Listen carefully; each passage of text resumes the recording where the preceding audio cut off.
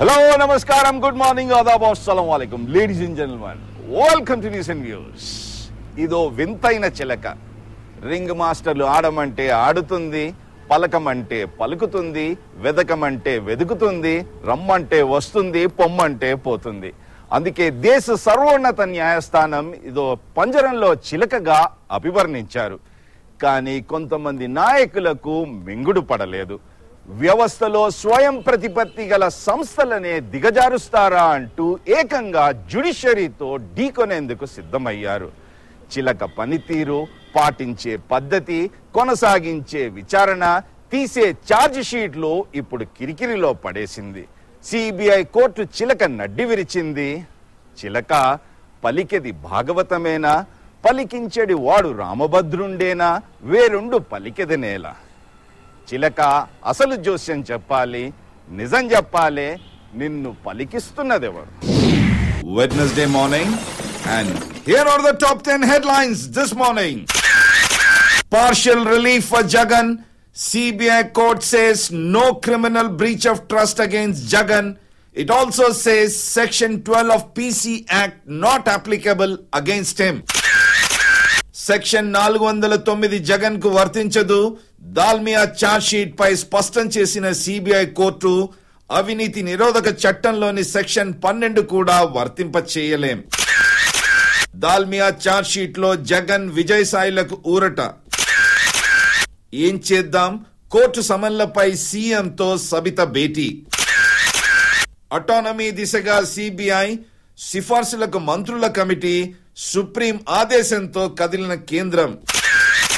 నేడు హుటాహుటిన ఢిల్లీకి కిరణ్ కుమార్ మంత్రుల మార్పే కలంకితులకు ఉద్వాసన కొత్త వారికి ఛాన్స్.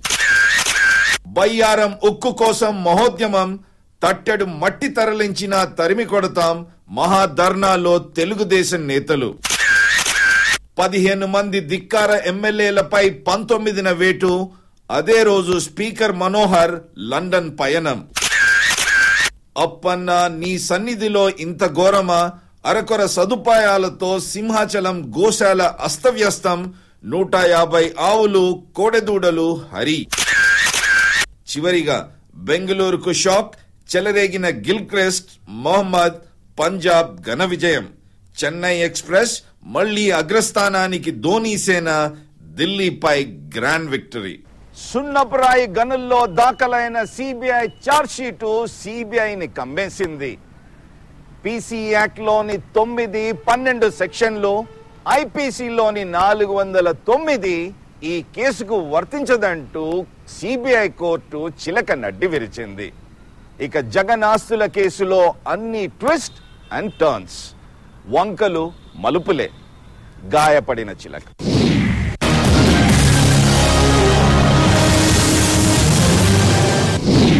Twist and turns.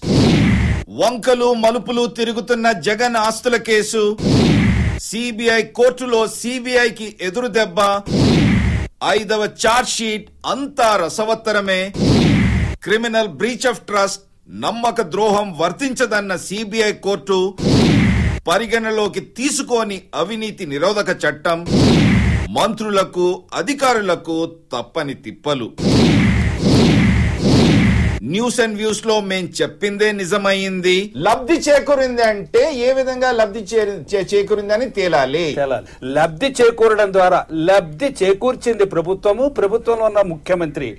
ఆ విధంగా నిర్ణయాలు తీసుకుంది కాంగ్రెస్ ప్రభుత్వము. నిర్ణయాలు తీసుకోబడింది మంత్రివర్గంలో మంత్రి మండలి నిర్ణయంతో. ఆమె నిర్ణయాల వల్ల లబ్ధి పొందిన వ్యక్తులు. ప్రోక్రో వెనక నుంచి ఎవరికి? ఆ ముఖ్యమంత్రి గారు కుమారుడికి. అంటే అక్కడ ముఖ్యమంత్రి గారు కుమారుడు ఒక్కడే నేరస్తుడా? లబ్ధి పొందినవాడు లబ్ధి చేకూర్చు ఎవరికి చేకూర్చబడింది? వాళ్ళు నేరస్తులు. ఎవరు చేకూర్చారు? వాళ్ళు నేరస్తులు. కలెక్టివ్ రెస్పాన్సిబిలిటీ ఈ. మొత్తం ముఖ్యం. ఈ మొత్తం గందరగోళంలో ఈ మొత్తం నేరంలో అప్పటి ప్రభుత్వము అప్పటి ప్రభుత్వానికి నాయకత్వం వస్తున్న ముఖ్యమంత్రి ఆ ముఖ్యమంత్రి యొక్క అనుచర మంత్రివర్గ సభ్యులు లబ్ధి పొందిన పారిశ్రామికవేత్తలు ఆ లబ్ధి పొందిన కమిషన్లు ఏమైనా ముట్టితే ముట్టినట్టు ఎస్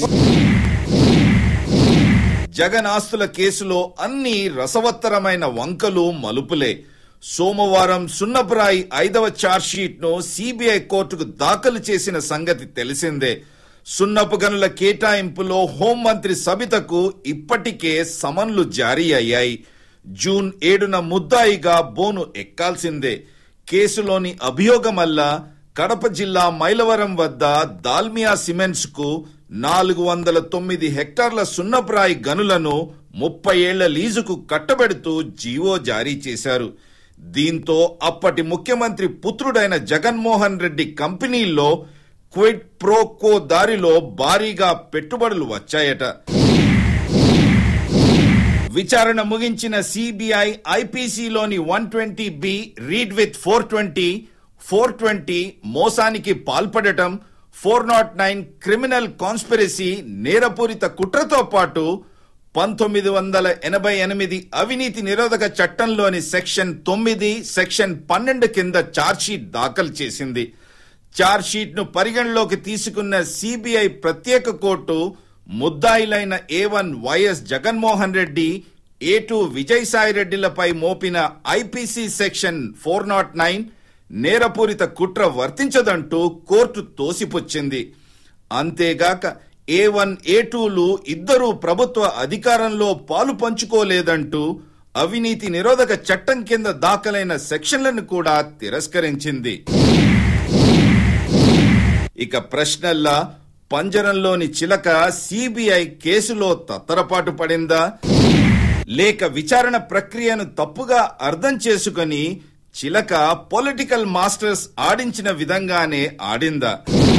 లేక ఏ వన్ను ప్రధాన నిందితుడిగా ఇరకాటంలో నెట్టేందుకే ప్రయత్నించిందా.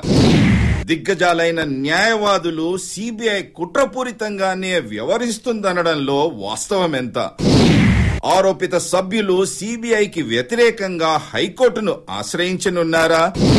ఇదే నిజమైతే గత చార్జ్షీట్లో సిబిఐ ఉద్దేశపూర్వకంగానే ఐపీసీ సదరు నాలుగు వందల తొమ్మిదితో పాటు పీసీ యాక్ట్ తొమ్మిది పన్నెండు సెక్షన్ల కింద కేసులు నమోదు చేసిందా? గాయపడిన చిలుక. ఓకే గాయపడిన చిలక. ఈ అంశాన్ని విశ్లేషించడానికి from left to right KK Mahender Reddy garu రాజ్యాంగ నిపుణులు హైకోర్టు సీనియర్ న్యాయవాది రాష్ట్ర మాజీ ప్రభుత్వ ప్లీడర్ వారి పక్కన టి శ్రీరంగారావు గారు రాజ్యాంగ నిపుణులు హైకోర్టు సీనియర్ న్యాయవాది వారి పక్కన గోశాల శ్రీనివాసరావు గారు రాజ్యాంగ నిపుణులు హైకోర్టు సీనియర్ న్యాయవాది ఫోన్ లైన్లో రాజ్యాంగ నిపుణులు హైకోర్టు సీనియర్ న్యాయవాది కాస జగన్మోహన్ రెడ్డి గారు అదేవిధంగా సుభాష్ పోతిరెడ్డి గారు అండ్ మాజీ advocate general CV Mohan Reddy garu కూడా జాయిన్ అవుతారు. ముందుగా కాస జగన్మోహన్ రెడ్డి గారు మీతో ప్రారంభిద్దాం నిన్న సిబిఐ కోర్టు తీర్పు చూసినట్టయితే act PC act nine taking gratification for exercise of personal influence with public servant PC act twelve punishment for abetment of offences define in section seven or eleven and ఆ విధంగా ఉండి then IPC కింద four naught nine Jaganmohan Reddy అనే ఒక వ్యక్తికి వర్తించదంటే ఏ విధంగా చూడమంటారు? రెండు వేల నాలుగు రెండు వేల తొమ్మిది సంవత్సరాల మధ్యన వైఎస్ రాజశేఖర రెడ్డి గారు ముఖ్యమంత్రిగా ఉన్న రోజుల్లో జగన్మోహన్ రెడ్డి అనే వ్యక్తి ఒక పబ్లిక్ సర్వెంట్ కాడు. Public servant is defined under section twenty one of the IPC అండి. సెక్షన్ ట్వంటీ వన్లో ఏం చెప్తుంది ఐపీసీ? పబ్లిక్ సర్వెంట్ అంటే ఎవరైనా సరే ఒక మిలిటరీ ఆఫీసర్ కానీ లేకుంటే జడ్జి కానీ కోర్టులో జడ్జి కోర్టుకు సంబంధించినటువంటి బాధ్యతలు ఏదైనా నిర్వహించుతున్నటువంటి వ్యక్తి కానీ లేకుంటే ప్రభుత్వం నుండి ఏదైనా జీతభత్యాలు తీసుకుంటున్నటువంటి వాళ్ళు కానీ ఎలక్ట్ అయిన అంటే ఏదైనా పబ్లిక్ బాడీస్కి ఏదైనా ఎలక్ట్ అయి పబ్లిక్ రిప్రజెంటేటివ్స్గా ఎలక్ట్ అయిన వాళ్ళు కానీ వీళ్ళను మాత్రమే పబ్లిక్ సర్వెంట్స్గా పరిగణించవలసి ఉంటుంది. జగన్మోహన్ రెడ్డి ఇవేమీ కాదు ఆయన ఆ సమయంలో ఒక బిజినెస్ మ్యాన్ మాత్రమే. కాబట్టి ట్వంటీ వన్ కింద ఆయన బిజినెస్ పబ్లిక్ సర్వెంట్ కానప్పుడు section twelve of the PC act apply అయ్యే సమస్య లేదు. అట్లాగే four zero nine of the IPC కూడా అప్లై సమస్య లేదు. So this questions the basic investigation. మొదటి నుంచి ఇన్వెస్టిగేషన్ ప్రాసెస్ నే తప్పు పట్టాల్సిన అవసరం ఇప్పుడు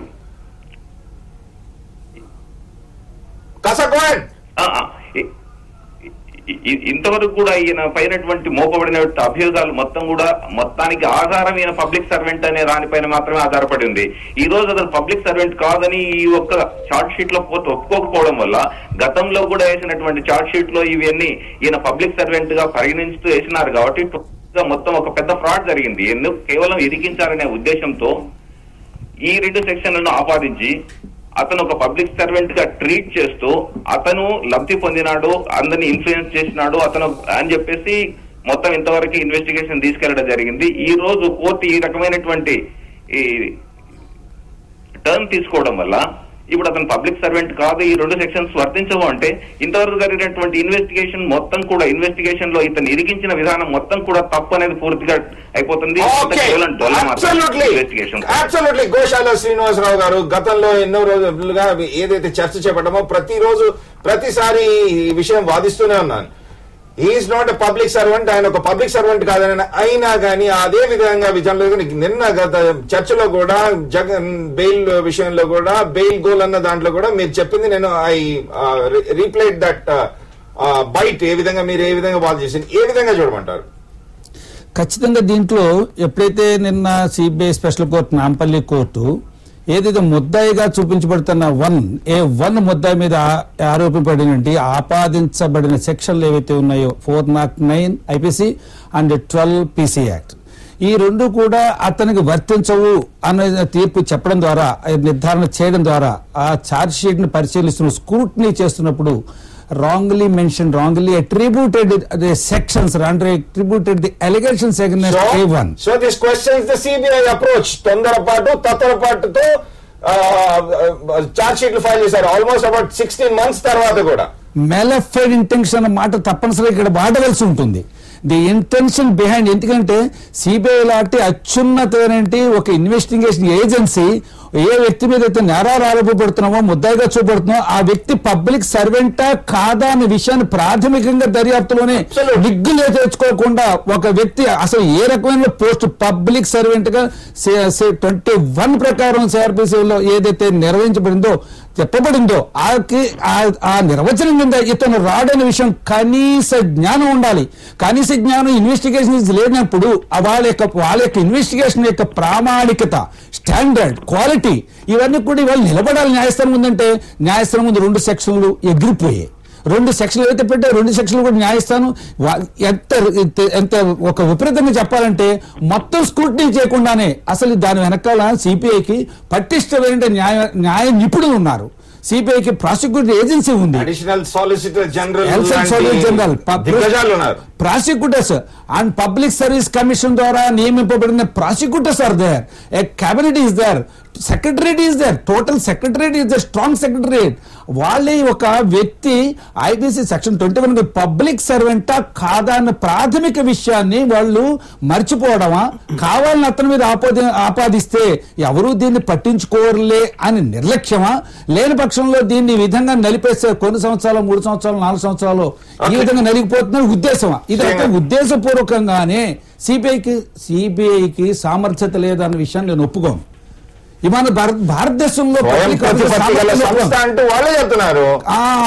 మంచి సామర్థ్యం ఉన్నటువంటి సంస్థలు భారతదేశం అన్ని కానీ వెనకాల శీలాలు మాత్రమే మనం శంకించవలసి వస్తుంది. ఓకే శీలాలు మాత్రమే శంకించాల్సి వస్తుంది. ఏ విధంగా చూడమంటారు Srirangarao garu? This is this questions the basic approach of investigation ఒకటండి ఎవరైనా ప్రభుత్వ ఉద్యోగులు నమ్మక ద్రోహానికి పాల్పడినప్పుడు criminal breach of trust పాల్పడినప్పుడు four naught nine section IPC భారత శిక్షా స్మృతిలో పేర్కొన్నటువంటి ఫోర్ నాట్ సెక్షన్ వర్తిస్తుంది. ప్రభుత్వ ఉద్యోగులు అయితేనే.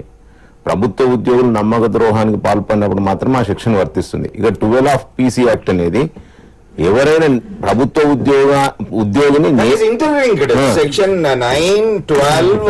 Interlink four naught nine of IPC ఒకటి ట్వెల్వ్ పీసీ యాక్ట్ ట్వెల్వ్ ఏం చెప్తుందంటే ఎవరైనా ప్రభుత్వ ఉద్యోగిని నేరానికి పాల్పడే విధంగా ప్రోత్సహించినప్పుడు కూడా ఈ సెక్షన్ వర్తిస్తుంది సరే ఈ రోజు CBI that, you know, section 409 in va- various cases, 1955 Major Phillips versus Union of India, దాని తర్వాత Madhav Prasad versus union of India Srikantaiah Ramayya Munipalli versus state of Bombay Gasim Agarwal versus state of union of ఇండియాలో clear గా చెప్పారు criminal breach of trust by public servant or by banker, merchant or agent, whoever being in any manner entrusted with property or with any dominion over property in his capacity of a public servant or in the way of his business as a banker, merchant, factor, broker, attorney or agent commits criminal breach of trust certainly అది correct అది.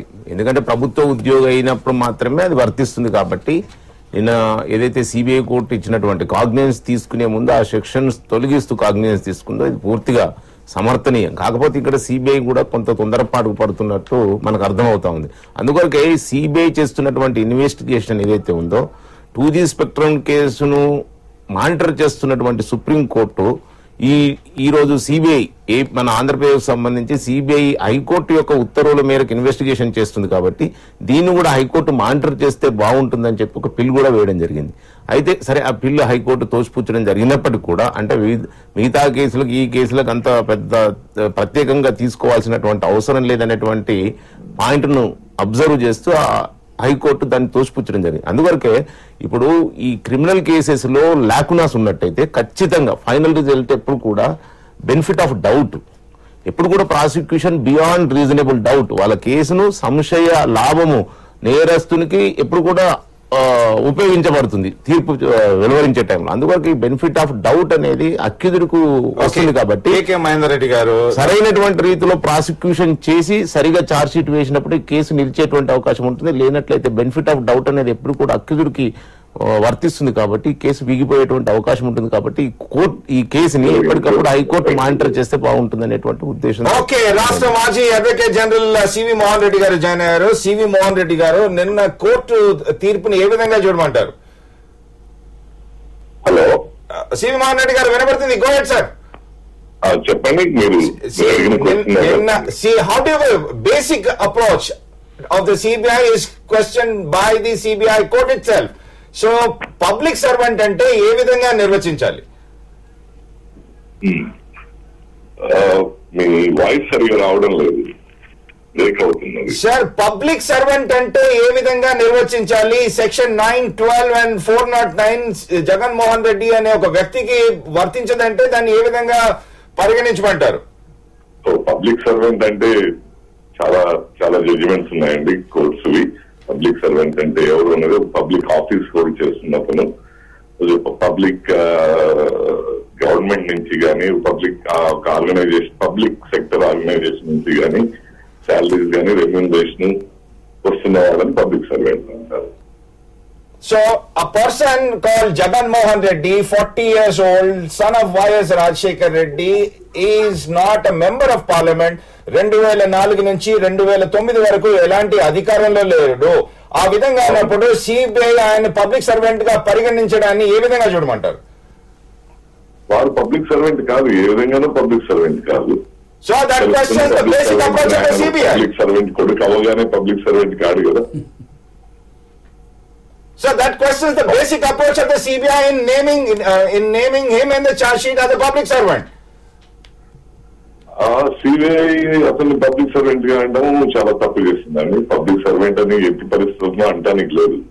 ఒక public సర్వెంట్ని తను manipulate చేసుకోనో లేకపోతే బెదిరించుకోనో లేకపోతే ఆ public servant ద్వారా లాభం పొంది ఉండొచ్చు కానీ ఆ విధంగా తను ఈ can be made an accuse కానీ but not as a public servant so ఆ విధంగా అన్నప్పుడు section four naught nine which is cognizable offence which is non bailable అది కూడా వర్తించదు ఆ విధంగా అయితే.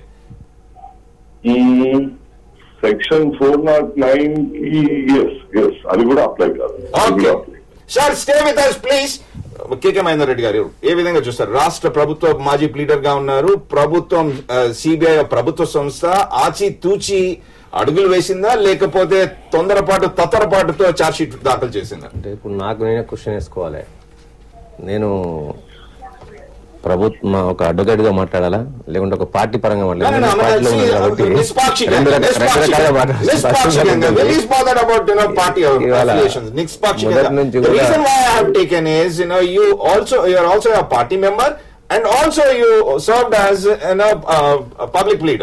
ఇవాళ మొదటి నుంచి కూడా ఈ కేసులో చూసినట్టయితే మీరు అనేకమైన అనుమానాలకు తావిస్తుంది. సిబిఐ వ్యవహరించిన తీరు. కోర్టులో హైకోర్టులో కేసు వేసినప్పుడు ప్రభుత్వం వివరించిన తీరు. ఇవన్నింటి కూడా చూసిన తర్వాత సిబిఐ ఆగమేగామైపోయి ఇప్పుడు ఏమంటే తెలంగాణలో ఒక సామెత ఉంది. దూపైనప్పుడు బాయిల ఒకటి మొదలు పెడతారు. సిబిఐ మొదటి నుంచి కూడా కొందరి కనుసన్నలో నడిచింది. ఆ కనుసన్నలో నడిచినప్పుడు ముందుగా జగన్మోహన్ రెడ్డి గారి పైన ఏదో ఒక రకంగా తను ఇరికించాలనే ఉద్దేశం కొద్దీ కొన్ని కేసులు పెట్టడం జరిగింది. చేసిన తర్వాత వాళ్ళకు వాళ్ళు రక్షించుకోవడం కొరకు వాళ్ళకు వాళ్ళు సపోర్ట్ చేసుకోవడం కొరకు ఏంటంటే ఇలాంటి సెక్షన్లన్నీ కూడా పెట్టడం జరిగింది. బేసిక్గా ఎవరికైతే మినిమం నాలెడ్జ్ ఉన్న వాళ్ళు కూడా చట్టపరంగా ఉన్న వాళ్ళు కూడా చట్టపర చట్టపరమైన కొంచెం కూడా జ్ఞానం ఉన్న వాళ్ళు ఎవరు కూడా ఈ సెక్షన్లన్నీ కూడా తప్పని చెప్పగా తప్పదు. ఎందుకంటే ఇంతకుముందు పెద్దలు ఏజ్ గారు సహోదరులు వీళ్ళందరూ కూడా చెప్పిన దాని ప్రకారము ఫోర్ నాట్ నైన్ కానివ్వండి twelve act twelve PC act కానివ్వండి ఇవన్నీ కూడా ఎవరికి వర్తించవు. ఎందుకంటే ఆయన మొదటి నుంచి కూడా చాలా మంది విజ్ఞులు ఈ చట్టం పైన అవగాహన ఉన్న వాళ్ళందరూ కూడా ఇవన్నీ కూడా తప్పుడు తరకలు అని చెప్పడమే జరుగుతుంది. దాన్ని వల్ల సిబిఐ లేట్గా అయినప్పటికి కూడా సిబిఐ కోర్టు లేట్గా అయినప్పటికి అయినప్పటికీ కూడా ఇవాళ ఎప్పుడైతే ఛార్జ్ షీట్ ముందుకు వచ్చిందో ముందుకు వచ్చినప్పుడు వాళ్ళు తేటతల్లం చేయడం జరిగింది. మీరు వివరిస్తున్న తీరు సరిగ్గా లేదని చెప్పగానే చెప్పింది.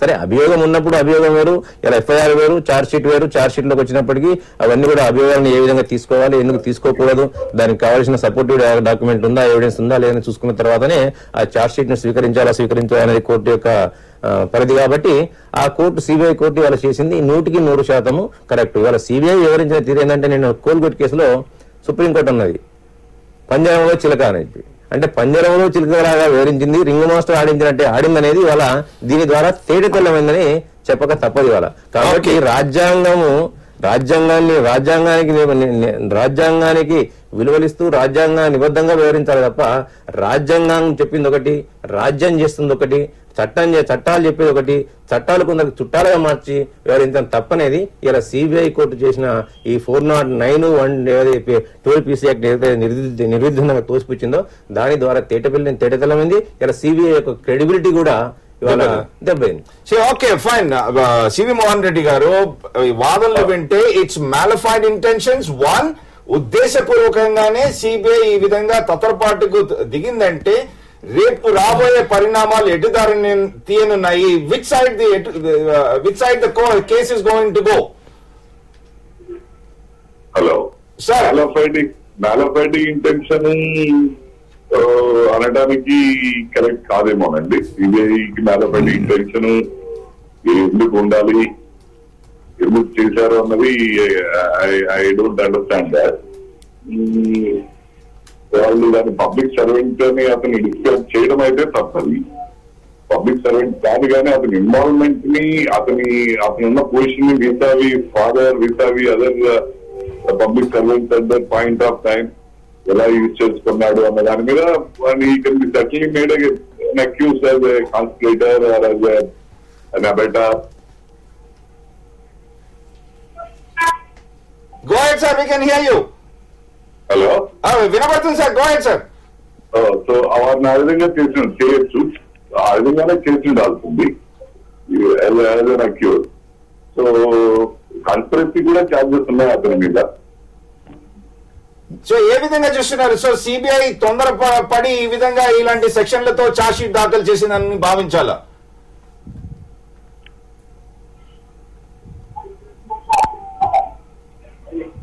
I think the seems to be some problem with audio problem please rectify the audio okay let's I think it's disconnected Kasa Jaganmohan Reddy garu ఏ విధంగా చూడమంటారు? హలో కాసా జగన్మోహన్ రెడ్డి గారు ఈ పర్టికులర్ ఏదైతే రెండు సెక్షన్స్ ఉన్నాయో PC act of nine and twelve and IPC four naught nine వర్తించదంటే రేపు case ఎటువైపు మళ్ళనుంది? ఇప్పుడు వాళ్ళకి లక్ష్యం ఒకటేనండి. ఐపీసీ ట్వంటీ వన్ ఒకసారి చదివి four zero nine and twelve of PC act చదివి వినిపిస్తే చదువురాని వ్యక్తి కూడా జగన్మోహన్ రెడ్డి పబ్లిక్ సర్వెంట్ కార్డ్ అనే విషయాన్ని క్లియర్గా అర్థం చేసుకోగలుగుతాడు. ఈ విషయం తెలియక కాదు సిబిఐ వాళ్ళు ఆయన్ని ఈ కేసులో ఈ సెక్షన్ల కింద ఇంప్లికేట్ చేయడం అనేది వాళ్ళకు పూర్తిగా తెలుసు. అయితే ఈ బలమైనటువంటి ఇలాంటి నేరాలను ఆపాదించడం వలన అతన్ని ఎక్కువ రోజుల లోపల ఉంచే అవకాశం కలుగుతుంది కాబట్టి తెలిసి చేసినారు. ఇదేందో తొత్తరపాటుతోనో లేకుంటే తొందర తొందరగానో ఎవరితోనో చేసినది కాదు. ఇది కేవలం ఉద్దేశ కేవలం ఉద్దేశపూర్వకంగా చెయ్యాలనేటువంటి ఉద్దేశంతోనే చేసినది. అతన్ని వీలైనంత కాలం బయటికి రాకుండా చూడాలని అనుకున్న అనుకోవడం చేతనే ఈ రకంగా చేయడం జరిగింది శ్రీ ఒకటి Goshala Srinivasarao garu that leaves us with question ఎటువైపు మళ్ళనుంది వన్ రేపు రాబోయే పరిణామాలు ఏ విధంగా ఉంటాయి? మళ్ళుపు సరైన దిశలో తీసుకోవాల్సిన అవసరం ఉంది తీసుకోబడుతుంది. న్యాయస్థానాలు ఆ దిశగానే వారి యొక్క చర్యలు ప్రారంభించారు మొదటి నుంచి కూడా. ఇక్కడ ఏ వన్గా పెట్టవలసిన స్థానంలో ఏ ఏ వన్గా జగన్మోహన్ రెడ్డి గారు పెట్టడం జరిగింది. ఎందుకంటే IPC section four naught nine PC section twelve తీసేస్తే ఆ రెండు సెక్షన్లు ఎవరి మీద అయితే ఆపాదింపబడ్డాయో మోపబడ్డాయో వారు ఇప్పుడు A one A two A three స్టేజ్కి రావాల్సి ఉంటుంది. ఖచ్చితంగా ఇది ఇది నిజంగా ఇక్కడ జరిగిన వ్యవహారంలో సిబిఐ ఎంక్వైరీ ఇది నిష్పక్షపాతంగా జరగట్లేదనే విషయం ఖచ్చితంగా తెలిసిపోయిన తర్వాత ఇప్పుడు దీన్ని సరైన మార్గంలో పెట్టినట్టయితే ఎవరు ఉద్దేశపూర్వకంగా ఈ యొక్క జాతీయ సంపదని ప్రభుత్వ సంపదని మరో కొంతమంది వ్యక్తులకు ముట్ట చెప్పడానికి ఏ విధంగా ముట్ట చెప్పారంటే మైన్స్ విషయంలో స్పష్టంగా నాలుగు వందల తొమ్మిది ఎకరాలు ముప్పై సంవత్సరాల లీజుకి ఒక జీవో ద్వారా లీజ్ ఏర్పాటు చేసి ఆ విధంగా ఇచ్చిన లీజుని ట్రాన్స్ఫర్ కోసం కూడా ఏర్పాటు చేసి అక్రమమైన జీవోలు జారీ చేయడం ద్వారా కొన్ని సమస్యలకి వాళ్ళ లాభం చేకూర్చారు లబ్ధి చేకూర్చారు. దాంట్లో వివాదం ఏమీ లేదు. రెండోది రెవెన్యూ జీవోల ద్వారా ఆస్తుల్ని ఎంఆర్ ప్రాపర్టీ కేసు మాట ఆస్తుల్ని ముట్ట చెప్పారు తక్కువ ధరకి ఆ విధంగా ల్యాండ్ ధరను కూడా తక్కువ చేశారు. ఆ విధమైన ఒక ఆ- ఆపాదింపడిన ఒక ఇది. మూడోది ఏమిటంటే ల్యాండ్ ఎవరికైతే మనం దారాదత్తం చేస్తామో ఆ ల్యాండ్కి చెల్లించిన స్టాంప్ డ్యూటీ ఏదైతే రెవెన్యూ ఏదైతే ఉందో రెవెన్యూ రీఎంబర్స్మెంట్కి జీవో జారీ చేయడం ద్వారా ప్రభుత్వ ఖజానాకి ప్రజా ధనానికి ఈ విధంగా నష్టం కలిగజేయడం కాకుండా దారాదత్తం చేయడం విషయం ఖచ్చితంగా తేలింది. ప్రధాన ముద్దాయిలు ఎవరైతే వస్తారు జీవోలు జారీ చేసిన వారు ఆ విధంగా కొంతమంది వ్యక్తులు లబ్ధి చేకూరుతున్నారో ప్రభుత్వం ఈ నిర్ణయాలు తీసుకోబడిన తీసుకోవడానికి దోహదం చేసిన వారు ఈ వ్యక్తులను ప్రధానంగా వీళ్ళని ముద్దాయిలుగా చూపించి ఆ విధంగా ఛార్జ్షీట్లు తయారు చేసి ఈ మొత్తానికి మాత్రం ఏదైతే కేసు ఉందో ఈ కేసుని పూర్తిగా విచారణ చేసి ముద్దాయిల మీద సరైన సెక్షన్లు ఆపాదించి ఏ నిష్పక్షపాతంగా ఏ రకమైన ఆల్మోస్ట్ అబౌట్ పదహారు నెలలు పద్దెనిమిది నెలలు అయింది. ఇంకా ఇంకెంది ఎంతకాలం సమయం పట్టాలి? అలాంటి సరైన సెక్షన్లు ఏనండి See, విచారణ జరిగిన తర్వాతనే కదా కేసులు నమోదు చేసేది. అంటే ఎవరు ఒకళ్ళ మీద పెట్టవలసిన సెక్షన్ ఇంకోళ్ళ మీద పెట్టేసి నీరు గార్చేసి కథ కంచికి మనం ఇంటికి చేద్దాం అనుకుని ప్రయత్నం చేస్తే కథ కంచికి వెళ్ళలేదు మనం ఇంటికి వెళ్ళలేదు. ఓకే. కథ IPC four naught nine section twelve of PC act ఎప్పుడైతే తీసేశారో మొత్తం ఏదైతే ఇంతకాలం అతను నిర్బంధం ఉన్నాడో ఆ నిర్బంధంతో కూడా అది అన్లాఫుల్ ఓకే ఇంకొకటి శ్రీరంగరావు గారు. ఈ కేసు ఈ విధంగా ఉంది. నిన్న సుప్రీంకోర్టులో వాదనలు విన్నా గానీ ఆయన ఆధారాలు తారుమారు చేస్తారన్న విధంగా ఉంది. Is not a public servant దాన్ని తప్పు పట్టాల్సి వస్తుంది. టూ సుప్రీం కోర్టు బెయిల్ ఇవ్వకపోవడాన్ని ఏ విధంగా పరిగణించాలి? అంటే ఈ కేసు క్షుణ్ణంగా పరిశీలించకపోవడం వల్లనే బెయిల్ ఇవ్వలేదని భావించాలా? లేకపోతే వాళ్ళు ఓన్లీ బెయిల్కి సంబంధించిన దాన్నే విచార పరిగణలోకి తీసుకున్నారనుకోవాలా? సుప్రీంకోర్టు అనేక సందర్భాల్లో ఆర్థిక నేరాలకు పాల్పడినటువంటి కేసుల్ని చాలా సీరియస్గా పరిగణించాలి. హంతకుల కన్నా ఎక్కువ సీరియస్గా చూడాలి ఈ కేసుల్ని. ఆర్థిక నేరాలకు పాల్పడినటువంటి వ్యక్తుల వల్ల సమాజం మొత్తం మీద ప్రభావం పడుతుంది. సామాన్యులకు అందాల్సినటువంటి ఆర్థిక ఫలాలు ప్రభుత్వ సంక్షేమ పథకాలు అందకుండా పోతాయనే ఉద్దేశంతో తీవ్రమైనటువంటి వ్యాఖ్యలు ఆ బెయిల్ నిరాకరిస్తూ చేసినటువంటి సందర్భం. బెయిల్ ఇవ్వాలా లేదా అనేది కోర్టు యొక్క డిస్క్రిషన్ పవర్కు సంబంధించినటువంటి విషయం. అయితే ఈ కేసులో ముఖ్యంగా ఈ ఆర్థిక నేరాలకు సంబంధించినటువంటి కేసుల్లో అనేక మంది ముద్దాయిలు ఉన్నారు కాబట్టి ఇప్పుడు ఒక్కొక్క ప్రతి ఛార్జ్ షీట్ చాలా మంది ముద్దాయిలు ఉన్నారు నిన్నటి ఛార్జ్ షీట్ సబితా ఇంద్రారెడ్డి ఉంది. ఆమె పబ్లిక్ సర్వెంట్ తర్వాత మిగతా వాళ్ళు ఉన్నారు ఆఫీసర్స్ అంతా కూడా. వాళ్ళంతా పబ్లిక్ సర్వెంట్స్. అయితే ఛార్జ్ షీట్ వేసినప్పుడు జగన్మోహన్ రెడ్డి విజయసాయి రెడ్డి పైన ఫోర్ నాట్ నైన్ ట్వెల్వ్ ఏదైతే పీసీ యాక్ట్ ఉందో వీటిని కాగ్నెన్స్ తీసుకునే సందర్భంలో కోర్టుకు కోర్టు వాళ్ళిద్దరికి ఆ సెక్షన్స్ పక్కన పెట్టి మిగతా వాళ్ళపైన ఈ సెక్షన్స్ అన్ని తీసుకున్నారు. అందుకనే కామన్ కామన్ ఛార్జ్ షీట్ వేశారు. ఇప్పుడు జగన్మోహన్ రెడ్డి మీద ప్రత్యేకంగా ఛార్జ్ షీట్ వేయలేదు కాబట్టి ఈ సెక్షన్లను అందులో పేర్కోవడం జరిగింది. అయితే ఇక్కడ సెక్షన్ ట్వెల్వ్ అనేది పీసీ యాక్ట్ అయితే ఇతను ఆర్థిక నేరాలు పాల్పడినప్పుడు అధికారంలో ఉన్నటువంటి వ్యక్తులను ప్రోత్సహించే విధంగా ఈ వాళ్ళ నేరాలకు ప్రోత్సహించి ఆ నేరాల నేరాలు ప్రోత్సహించడం వల్ల లబ్ధి పొందాడనేటువంటి ఆరోపణ ఉంది కాబట్టి ఖచ్చితంగా మరి సిబిఐ కోర్టు ఈ రోజు ఆర్డర్ పాస్ చేసిన తర్వాత ఇన్వెస్టిగేషన్ చేస్తున్నటువంటి సిబిఐ హైకోర్టులో రివిజన్ పిటిషన్ వేస్తుందా లేదా అనేది వేచి చూడాల్సినటువంటి విషయం. Okay KK Mahender Reddy garu. Then we have to question even one twenty B read with four twenty four one twenty B ఏమంటుంది? Criminal conspiracy to commit an offense punishable with death, imprisonment for life or rigorous imprisonment for a term of two years or upwards. అదేవిధంగా four twenty B cheating and thereby dishonestly inducing delivery of property or making alteration or destruction of a valuable security ఈ విధంగా ఉన్నప్పుడు so quid pro యాంగిల్లో case నడుస్తా ఉంది ఆ quick pro యాంగిల్లో ఉన్నప్పుడు అటు సైడ్ వాళ్ళని కూడా విచారించాలి కదా అటు సైడ్ వాళ్ళని కూడా ప్రాసిక్యూషన్ చేయాలి కదా అటు సైడ్ వాళ్ళని ప్రాసిక్యూషన్ చేయకుండా ఏకపక్షంగా జ- జరుగుతున్నదంటూ వాదిస్తున్నారు. సో ఏ విధంగా మలుపులు తిరగనుందంటారు? నేను ఇంతకుముందు కూడా చెప్పాను. రాజ్యాంగం ఏం చెప్తుంది రాజ్యం ఏం చేస్తుంది? చట్టాలు ఏ విధంగా ఉన్నాయి చట్టాలు ఏ ఎవరికి కొందరు చుట్టాలుగా మారినాయి. అనేది ఈ కేసును చూసినట్టయితే మీకు తేట తెల్లమైపోతుంది ఇంకా వేరే వాళ్ళు ఎవరు చెప్పాల్సిన అవసరం లేదు. జగన్మోహన్ రెడ్డి గారి పైన క్విడ్ కేసులో ఏ విధంగా ఉందో ఏ విధంగా ఎంక్వైరీ జరుగుతుంది. అటు సైడ్ క్విడ్ ప్రోకో యాంగిల్ అంటే ఇరు పక్షాలను చేయాలని ఇచ్చిపుచ్చుకోవడాలి. అది తేలాలి చీటింగ్ అంటే ఏ విధంగా డిఫైన్ చీటింగ్ ఇచ్చిపుచ్చుకోవడం కాదు, పిడిపోవాలి పెట్టిన దాన్ని మర్చిపోవాలి. ఆయన వేరే మార్గం లబ్ధి పొంది పెట్టిన దాన్ని మర్చిపోవాలి. కానీ ఇలా పెట్టిన ప్రతి పెట్టుబడిదారుడు లబ్ధి పొంది లాభాలు తీసుకున్నాడు. బిజినెస్లో లాభాలు తీసుకోవడం సహజం ఇవాళ. ఇదే షర్టు రంగారావు గారు వేసుకున్న షర్టు మామూలుగా బట్టల షాపుకి వెళ్తే నూట యాభై రూపాయలు దొరకవచ్చు. నేను మెగా మార్ట్లకు పోతే నూట యాభై రూపాయలు దొరకవచ్చు. అదే లైఫ్ స్టైల్లో పోతే ఇదే షర్టు కేవలం బ్రాండ్ వేసి నాలుగు వందల యాభై రూపాయలు కొనుక్కోవచ్చు. అంటే నాలుగు వందల యాభై రూపాయలు పెట్టుకునేది నా ఇష్టం అది. అదే షర్ట్ ఎందుకంటే లాభాలు అందులో ఎక్కువ ఉంటాయి క్వాలిటీ బాగుందని నేను అనుకోవచ్చు అప్పుడు. కాబట్టి ఆ ఫండమెంటల్స్ బాగున్నాయి కాబట్టి షా- ఇవాళ కంపెనీ స్టార్ట్ కాకముందే మీరు ఇంత ఇంత షేర్ పెట్టారంటే ఫండమెంటల్స్ బాగున్నప్పుడు కూడా తీసుకుంటారు. ఇవాళ అది దాన్ని చూసినట్టే ఇవాళ అదే మాదిరి ఉంటుంది. ఏదైతే జగన్మోహన్ రెడ్డి గారు చేశారో అది చట్టబద్ధంగా న్యాయబద్ధంగా చేసినవి. వాటిని చూసుకోవాలి తప్ప ఎంతసేపు దానికి బ్యాడ్ ఇంటెన్షన్ మ్యాలఫైడ్ ఇంటెన్షన్స్ మనసులో పెట్టుకొని జగన్మోహన్ రెడ్డి గారిని రాజకీయంగా ఎదిగి సార్ ఎందుకంటే మనకి న్యాయం నిష్పాక్షంగా డోంట్ టేక్ పార్టీ సైడ్ అతన్ని అతను రాజకీయంగా ఎదుగుతుంది కాబట్టి ఒక వ్యక్తి ఆ వ్యక్తిని మనం ఆపాలి. ఏదో ఒక ఏదో ఒక అపవాదం మోపాలి అనే ఉద్దేశంగా దిగవడం ఈ వన్ ట్వంటీ బి కానివ్వండి ఇవన్నీ కానివ్వండి ఏదైతే ఫోర్ నాట్ నైన్ ఈ ట్వెల్వ్ పోయిన తర్వాత అవి కూడా నిలబడే ఆస్కారం లేదు what I want to ask you Kaushalya Srinivasarao garu ఈ ఏ విధంగా నిలబడుతుంది? ద బేసిక్ క్వశ్చన్ ఖచ్చితంగా అండి. ఇప్పుడైతే ఆయన పబ్లిక్ సర్వెంట్గా ఇప్పటికీ చూడాలని అనుకోవడం రంగారావు గారు చెప్తున్నట్టుగా కాదు. బయట వ్యక్తులు ఎవరు పబ్లిక్ సర్వెంట్లు కారు. పబ్లిక్ సర్వెంట్ అంటే ఒకసారి మనం పూర్తిగా డిఫైన్ చేసింది section twenty one of IPC. Basically first define cheating ఏ విధంగా డిఫైన్ చేయాలి? Four twenty one twenty B read with four twenty four twenty cheating ఏముందండి ఇక్కడ? ఇక్కడ చీటింగ్ అంటే ముద్దాయిలందరినీ కొట్టుకుంటే ఏ వన్ మీద చీటింగ్ అన్నది ఏ ఫోర్ ట్వంటీ ఉందో నిలబడదు. ఎందుకంటే ఫోర్ నాట్ నైన్ ఎప్పుడైతే వెళ్ళిపోయిందో ఫోర్ ట్వంటీ ఎక్కడ నిలబడుతుంది? అతను ఎవరిని చీట్ చేశారు? అసలు ఏ- విధంగా చీట్ చేశారు? చీటింగ్ అనేది నిర్వచించాలంటే ఎవరిదైతే ఎవరైతే ఎవరి మీద అయితే చీటింగ్ ఆరోపబడుతుందో అతను చీట్ చేయబడిన వ్యక్తులు ఎవరు? అలా చీట్ చేయబడిన వ్యక్తులు ఎవరికి అతను నష్టం కలగజేశాడు? అతను ఎవరికి నష్టం కలగజేయలేదు అతని చర్యలు ఏమి లేదే? అతని పవర్స్ ఏమి లేవే చీట్ చేయవలసిన పవర్స్?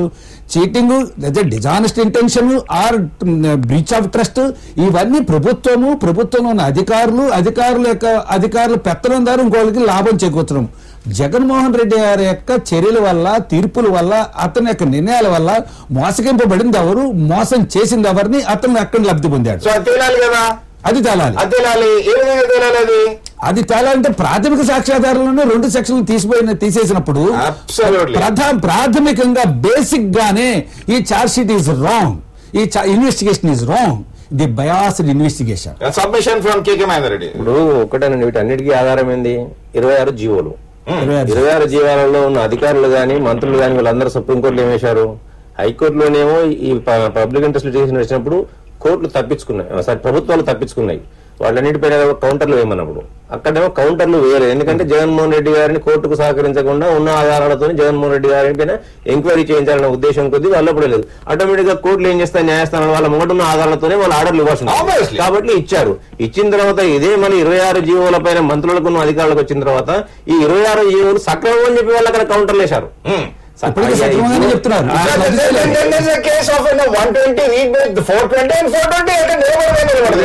ఇప్పుడు ఇవన్నీ కూడా నిలబడదనే కదా. కావాలి ఇంటెన్షనల్గా ఒక దురుద్దేశపూర్వకంతో ఆపాదించడానికి దానికి కొన్ని మొదటి నుంచి కూడా చెప్పుకుంటూ వచ్చాను. ఈ రాష్ట్రంలో కొన్ని మానస పుత్రికలా ఉండాల్సిన సంస్థలన్నీ కూడా ప్రజల పట్ల ప్రజల ఏజెండా మర్చిపోయినాయి. మానస పుత్రికలు.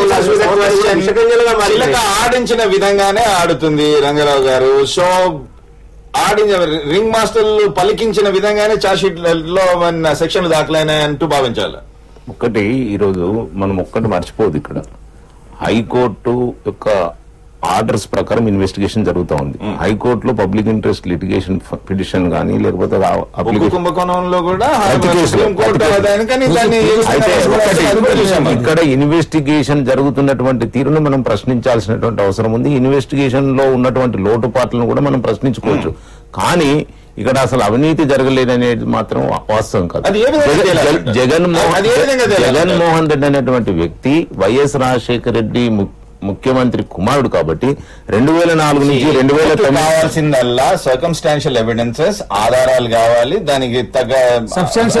సబ్స్టాన్షియల్ ఎవిడెన్సెస్ కావాలి దానికి తగ్గ డాక్యుమెంట్స్ కావాలి. సో ఆ విధంగా ఇప్పుడు మొత్తం వాళ్ళే section nineteen twelve and four nought nine question చేస్తే ఫోర్ ట్వంటీ కూడా నిలబడదు సో ఏ విధంగా uh, చార్జ్ షీట్లో పేర్కొన్నటువంటి మిగతా వ్యక్తులకు ఆ సెక్షన్స్ వర్తిస్తాయి. జగన్మోహన్ రెడ్డి విజయసాయి రెడ్డికి వర్తించకు మిగతా ఐపీసీ సెక్షన్స్ ఏవైతే ఉన్నాయో పబ్లిక్ సర్వెంట్స్ పబ్లిక్ సర్వెంట్స్ అంటూ డిఫైన్ చేసిన వాళ్ళకి మంత్రులకైనా one twenty B four twenty మిగతా సెక్షన్స్ ఏవైతే ఉన్నాయో ఖచ్చితంగా వర్తించేటువంటి అవకాశం ఉంది. అందుకొరకు జగన్మోహన్ రెడ్డి ఈ రోజు జగన్మోహన్ రెడ్డి తరపున మొత్తం దేశంలో ఉన్నటువంటి ప్రముఖ న్యాయవాదులు బెయిల్ రావడానికి అనేక రకాలుగా ప్రయత్నాలు చేస్తున్నారు. కోర్టు హైకోర్టులో కానీ సుప్రీంకోర్టులో అయితే ఈ బెయిల్ బెయిల్ బెయిల్ తీసి బెయిల్ ఆర్గ్యుమెంట్ సందర్భంలో కూడా ఈ పాయింట్స్ అన్ని కూడా వాళ్ళు రేజ్ చేశారు. రేజ్ చేసినప్పుడు ఈ రోజు హైకోర్టు కానీ సుప్రీంకోర్టు కానీ బెయిల్ నిరాకరిస్తున్నాయంటే ఖచ్చితంగా దీంట్లో ఫస్ట్ థింగ్ ఏంటంటే ప్రైమాఫేసి కేసు ఉంది కాబట్టి హైకోర్టు విచారణకు ఆదేశించింది. ఈ రోజు సుప్రీంకోర్టుల హై అంటే అత్యున్నత న్యాయస్థానం కూడా బెయిల్ నిరాకరిస్తున్నాయంటే ఖచ్చితంగా అవినీతి జరిగింది. అవినీతి జరిగిందని రంగారావు గారు విజ్ఞులు న్యాయ న్యాయ- న్యాయ- న్యాయశాస్త్ర నిపుణులు చట్టాలు తెలిసినవారు మరి ఒక కోర్టులో ఇంతకుముందు నేను చెప్పాను. కోర్టులో ఒక కేసు వేసినప్పుడు ప్రభుత్వ సంస్థలు ఏవైతే ఉన్నాయో ప్రభుత్వ సంస్థల్లో అప్పుడు జగన్మోహన్ రెడ్డి గారు వాస్తవంగా ఎక్కడో పద్దెనిమిది అక్యూజులు ఇరవై రెండు అక్యూజులు ఉన్నాడు ఆ కేసులో. ఆయన పబ్లిక్ ఇంట్రెస్ట్. చేసినప్పుడు శంకర్రావు ఎక్కడో కింద ఉన్నాడు ఎక్కడ ఆయన. పైన ఉన్న వాళ్ళందరూ కూడా ఆఫీసర్లే. ప్రభుత్వాలు ప్రభుత్వ సంస్థలు రిప్రజెంట్ చేస్తున్న ప్రిన్సిపల్ సెక్రటరీలు ప్రభుత్వ పరంగా ప్రభుత్వ బాధ్యత కోర్టు ముందుకు ఫ్యాక్ట్స్ తీసుకొచ్చిన బాధ్యత ప్రభుత్వానికి ఉందా లేదా దాన్ని చెప్పండి నేను. అదేంటంటే ఆ బాధ్యత విస్మరించినప్పుడు ఉన్నదాని ప్రకారం న్యాయస్థానాలు ఆర్డర్లు ఇచ్చాయి.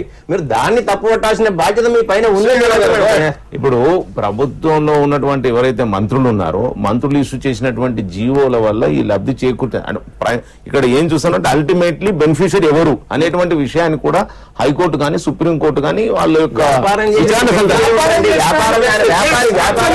బెనిఫిషియరీ వ్యాపారంలో లాభాలు నష్టాలు వ్యాపారాలు చేయరు. నష్టాల ఇవాళ అంబానీల విషయం ఏంటి? టాటాల విషయం ఏంటి? ఈ దేశంలో జరుగుతున్న వ్యాపార వ్యాపార దృక్పథాల గురించి మీరు మాట్లాడండి. ఈ దేశంలో జరుగుతున్న వ్యాపార దృక్పథాలు వారు. యూనివర్సలైజేషన్ గ్లోబలైజేషన్ పెడుతున్న పేరు మీద జరిగిన ప్ర- ప్ర- ప్రపంచీకరణ పేరు మీద కేంద్ర ప్రభుత్వం ఇచ్చిన సరళీకృత విధానాల గురించి ఆలోచించండి. వాటి గురించి ఆలోచించండి. సరళీకృత విధానాల వల్లే సార్థిక ఆ, ఒకటి. సరళీకృత విధానాల వల్లే ఇలా కోల్గేట్ లాంటి కుంభకోణాలు జరుగుతున్నాయి. కోల్గేట్ కుంభకోణంలో ఈ రోజు ముఖ్యమంత్రుల కుమారులు ఉండకపోవచ్చు. దాంట్లో కూడా అనేక మంది అనేకమైనటువంటి సంస్థలు కూడా start questioning in each and every GO ఆ విధంగా అయితే. అది ఖచ్చితంగా ఇప్పుడు ఎవరైతే మంత్రులు జీవోలు. ఇష్యూ చేయడానికి బాధ్యులారో వాళ్ళు జైలు శిక్ష అనుభవించాల్సి వస్తుంది తప్పనిసరి. వాళ్ళు కూడా ఈరోజు కాకపోతే ఇక్కడ ఏంటంటే సిబిఐ ఒకటి. ఇక్కడ. సిబిఐ యొక్క? One thing one second one second రాష్ట్ర పారిశ్రామిక విధానాన్ని మనం ఒకసారి చూడవలసిన అవసరం ఉందండి. రాష్ట్ర పారిశ్రామిక విధానాన్ని చూస్తే దానికి వ్యతిరేకంగా ఏమైనా ఇక్కడ అలాట్మెంట్స్ కానీ లేకుంటే ఫీజు కన్సెషన్స్ కానీ ఏమైనా ఇచ్చారనేది చూడవలసి వస్తుంది. ఈ ఒక్క కేసులోనే ల్యాండ్ అలాట్ జరగలేదు. ఇప్పుడు ఈ ఒక్క ఈ దాల్మియా సిమెంట్ ఒకటే ఇండస్ట్రీ కాదు మన ఆంధ్ర రాష్ట్రానికి వచ్చింది ఆంధ్రప్రదేశ్ రాష్ట్రానికి వచ్చింది. చాలా ఇండస్ట్రీస్ వచ్చి ఉంటాయి చాలా చాలా భూముల్ని ఈ రంగా ధారాదత్తం చేయడం జరిగింటుంది. అయితే రాష్ట్ర పారిశ్రామిక విధానానికి అనుగుణంగా మాత్రమే ఇవ్వడం జరిగింది. ఇప్పుడు ఈ ఇలాంటి విధానానికి అనుగుణంగా వ్యతిరేకంగా ఇచ్చినటువంటి సందర్భాల్లో కూడా సిబిఐ గాని మరి ఏ సంస్థ గాని ఇన్వెస్టిగేట్ చేసిన దాఖలాలు కొన్ని విషయాలు కనపడదు ఇప్పుడు ఐఎంజీనే ఉంది. ఎనిమిది వందల యాభై ఎకరాలు ఏ రకమైనటువంటి ఉద్దేశం? రాష్ట్ర ప్రజలకు ఏ రకమైనటువంటి లబ్ధి చేకూరని విధంగా అక్కడ వాళ్ళకి ఇచ్చినా కూడా కోట్లాది రూపాయలు రాష్ట్ర రాజధానిలో కోట్లాది రూపాయలు విలువ కలిగినటువంటి అసలు ఆస్తులు గారు ఏ ప్రయోజనాన్ని ఆశించకుండా జగన్మోహన్ రెడ్డి మీరు మర్చిపోవద్దు. ఐఎంజీ భారతకు సంబంధించినటువంటి అలాట్మెంట్ విషయానికి ల్యాండ్ ఏదైతే అలాట్మెంట్ చేశారో దానికి సంబంధించి పిల్లి ఈ రోజు హైకోర్టులో పెండింగ్ ఉంది. నేను ఒక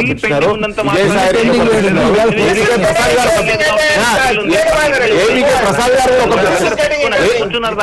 ఒకటండి. ఒకటి సరే సిబిఐ పాత్రను మనం ప్రశ్నించుకోవచ్చు కానీ అవినీతి జరగలేదు రాష్ట్రంలో. అవినీతి జరగకుండా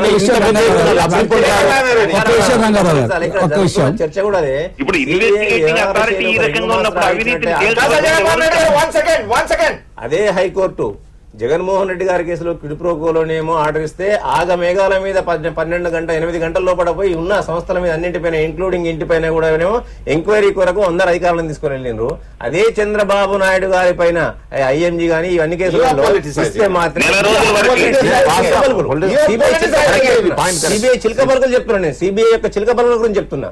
సిబిఐ ఎక్కడికి వెళ్ళలేదు అనేది దీని ద్వారా సిబిఐ తప్పకుండా రింగ్ మాస్టర్ ఆడించినట్టే ఆడుతుంది. ఆడింది ఆడబోతుంది అనేది దీని ద్వారా తేటతెల్లమైందని చెప్తున్నా ఓకే కాసా జగన్మోహన్ రెడ్డి గారు ఫైనల్ వర్డ్స్. ఇది పూర్తిగా పక్షపాత వైఖరితో ఎవరో చెప్పినట్టు చేస్తున్నారండి. ఈ ఛార్జెస్ ఏవి కూడా జగన్మోహన్ రెడ్డి గారి పైన నిలబడవు.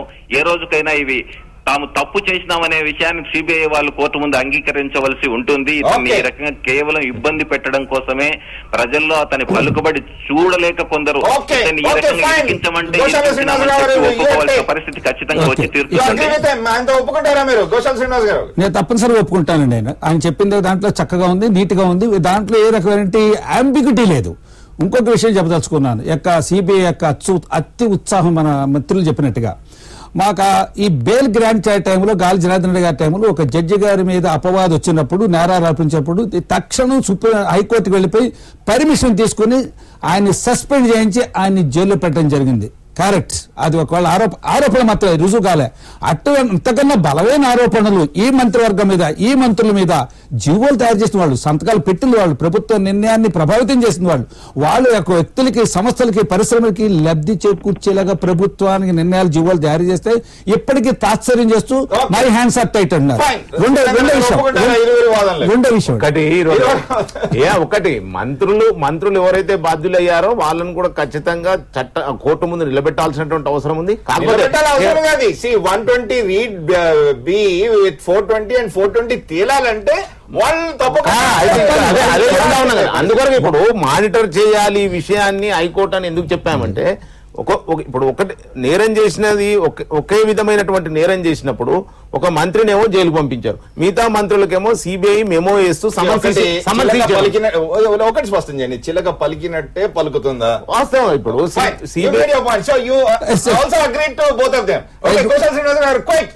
రా- తప్పకుండానండి ఆ. శంకర్రామన్ హత్య కేసులో సుప్రీంకోర్టు స్పష్టమైన వ్యాఖ్యలు చేసింది. బెయిల్ గ్రాంట్ చేసే టైంలో ఏవైతే తీర్పు ఇవ్వబడుతుందో ఏదైతే అబ్జర్వ్ చేస్తుందో ఈ అబ్జర్వేషన్స్ ప్రధానమైన కేసు మీద ప్రభావం చూపుతూ ప్రధానమైన కేసుని ఎప్పుడు కూడా పరిగణలో తీసుకోవడం జరగదు. కానీ రంగారావు గారు చెప్తున్నారు బెయిల్ నిరాకరించడం ద్వారానే ముద్దాయి మీద ఆరంభమైన ఛార్జ్ షీట్ ప్రూవ్ అయిందని చెప్తున్నారు.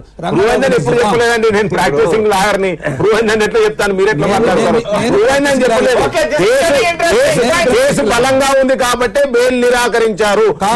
కేసు అసలు నిలవదని ఎట్లా చెప్తారు? మరి తీర్పిస్తే మీరే తీర్పిస్తే అవినీతి జరిగిందా లేదా.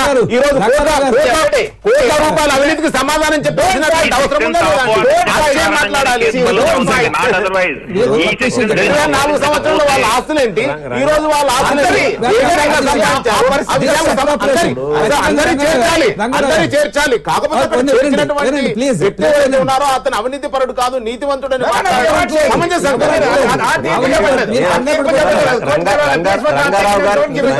నేను ఒకటే అబ్జెక్ట్ చేస్తున్నా అవినీతి మంత- అవినీతి పరుడు కాదు నీతి మంత్రి అని నేను చెప్పలేనని ఆ కంక్లూజన్ మీరు రాకూడదు అని చెప్తున్నాను మీరు అలా వస్తున్నారు. మాట్లాడే విధానం ఆ విధంగా ఉంది. ఆరోపణ ఆరో నింద ఆరోపణ చేసిన వ్యక్తి మాత్రమే ఒక్క విషయం ఒక్క విషయం చెప్తున్నానండి. ఒక్క విషయం. ఈవేళ బెయిల్ ఇవ్వడం అన్నది బెయిల్ యొక్క ఏదైతే ఆ బెయిల్ పిటిషన్ వరకునే దాని యొక్క ప్రభావం. ఆయన ఇందాక చెప్తున్నట్టు ఒక విషయం చెప్తున్నారు. ఏదైతే ఛార్జ్ షీట్ అయిపోయిందో బెయిల్ నిరాకరించిన తర్వాత ఛార్జ్ షీట్లో రెండు సెక్షన్లు కూడా తప్పుగా పొందుపరిచే విషయం ఈ ఈ న్యాయస్థానం?